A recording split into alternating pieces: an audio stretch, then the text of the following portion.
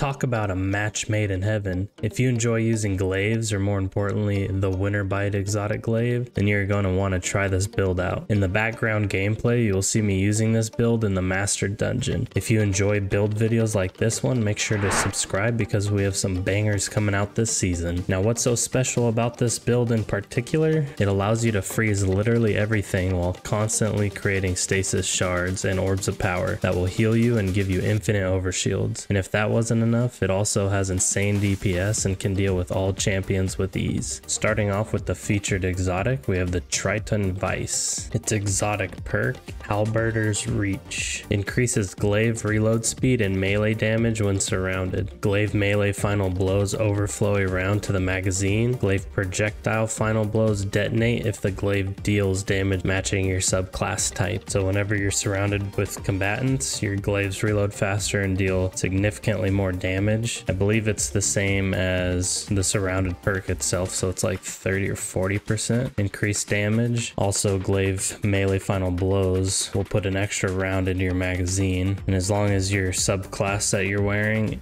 matches the glaive you're using, then whenever you get a range kill with that glaive, it will the target will detonate and blow up in an AoE. As of right now, you can get this exotic doing legendary or master lost sectors, or you can try to get lucky and do the Neomuna public event. And as for our exotic weapon, we're using the Winterbite exotic glaive. Its perk is fires a large ball of energy that locks onto nearby targets and freezes them. Also, this weapon's melee attacks deal increased damage and slow targets when loaded with ammo. So the Winter's Bite combined with Triton's Vice makes for some insane combos and gameplay loops. To make this build even better, you can use a fusion rifle like the Riptide that has chill clip. Anything with chill clip makes this build that much better. And for your energy weapon, you can really use anything you want. Now let's get into the subclass, Revenant. With this build, we're gonna be able to get our super back pretty quickly. So you're gonna always wanna be just popping your super on either groups ads or even for boss damage. For our abilities, we're gonna be using Gambler's Dodge. Whenever you dodge nearby enemies, it's gonna recharge your melee ability. The melee ability Withering Blade toss a shuriken at target to damage and slow them. It provides two charges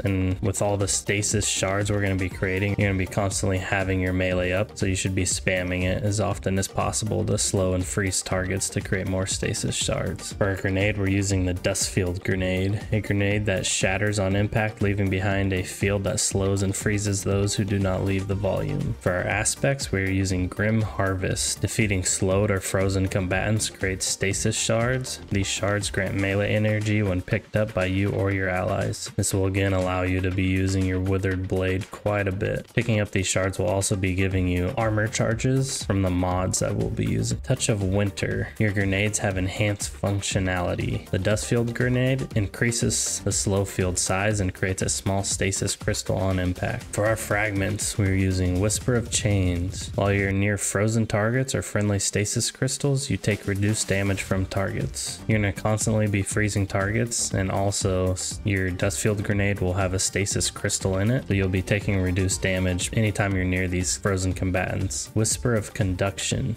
Nearby stasis shards track to your position. This gives us some nice stats, but also we don't have to go out of our way to collect the crystals. They'll just come to us as long as we're nearby. Whisper of Fissures. Increases the damage and size of the burst of stasis when you destroy a stasis crystal or defeat a frozen target. Again, everything's going to be frozen from this build, so the blast radius that you get from it is going to just destroy or damage everything nearby. Whisper of Bonds. Defeating frozen targets grants you super energy. Everything you're going to kill is going to pretty much be frozen, so you're going to be getting your super back quite a bit with this. And most importantly, Whisper of Rime. Collecting a stasis shard grants a small amount of overshield, which falls off after 10 seconds. Collecting additional shards adds to the overshield and refreshes the timer. So with the infinite amount of stasis shards that we'll be creating with this build, you're going to always be having an overshield up. As far as the seasonal artifact goes, there's really nothing you can use for stasis, but if you're planning on using like a void or arc weapon, you should probably have the